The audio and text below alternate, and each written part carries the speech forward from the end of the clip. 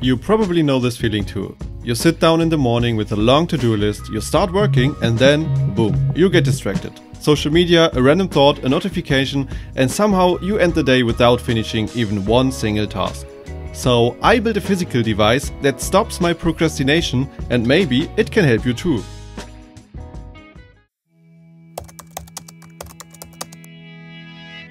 I've tried everything timer apps, alarms, habit trackers, Pomodoro apps, but most of them either make me feel more stressed or I use them for one day, forget about them, and they disappear somewhere between hundreds of other apps on my phone. I wanted to see time pass and feel how much is left, but in a way that stays calm, almost comforting. And that instantly made me think of an hourglass. With an hourglass, you can see the flow of time, but you never know the exact minutes or seconds. It's precise enough to guide you, but vague enough to keep you relaxed. And I love that. But a simple hourglass wasn't enough for me. It didn't feel intuitive, and honestly, it didn't match the kind of design I wanted on my desk. So, what would an hourglass look like if it was reinvented in 2025?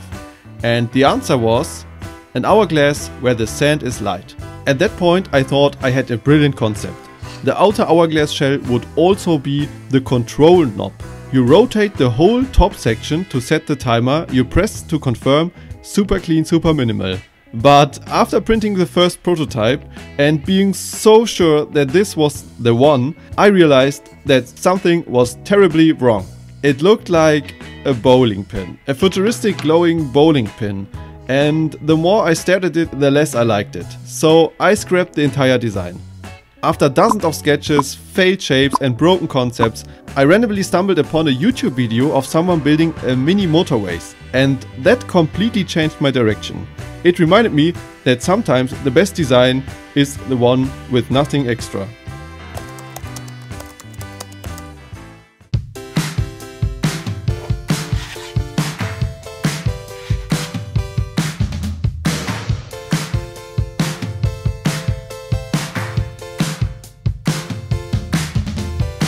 It's built around a small ESP32 microcontroller, a rotary encoder for input and a short LED strip inside the light column.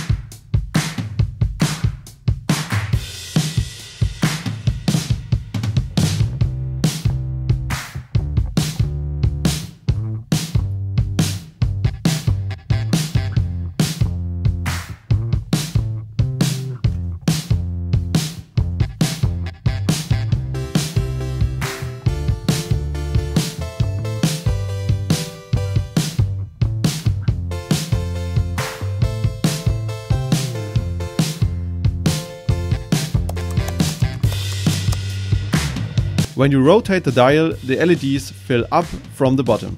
Each LED equals 5 minutes. I'm using 8 LEDs, so one full circle is 40 minutes. And yeah, I know the classic Pomodoro method uses 25 minutes, but honestly, 25 is too short for focus, for deep work. 40 minutes feels like the perfect middle ground between structure and flow. When you press the dial, the top LED gives a quick confirmation blink, and then the timer starts. The light slowly drains downward as time passes, just like the light hourglass idea I started with. And when the timer finishes, it gently pulses in warm white for a few seconds. Calm, not stressful. In ambient mode, the whole tower becomes a soft breathing light. No numbers, no notification, just a calm reminder to stay focused. The whole device is surprisingly cheap to build. The ESP32 costs me around $5. The encoder $2, a piece of LED strip about $1, the filament maybe 2 and another dollar for cables and small parts. So the total cost is roughly $11. And yeah, it feels like a device that belongs on a real workspace. What I love most is how it changes the way I work. I'm not watching seconds disappear on the screen, I'm not checking my phone, I'm not stressing about hitting a deadline. I'm simply working, while a calm column of light tells me how much deep focus time I have left. It sounds simple, but this little thing has boosted my productivity more than any app ever did. So that's version 1 of my Light Hourglass productivity device. I'm curious, what would you add? What feature am I missing and what would you change about the design? All my projects, including this one, are available on my Ko-fi page. So if you want to build it yourself or support my work, you'll find everything there. And if you enjoyed this project, feel free to follow so you don't miss the next one. And by the way, a productivity device like this obviously needs calm background music. So I built a matching mini speaker in the same design language. You'll find it linked on screen and in the description.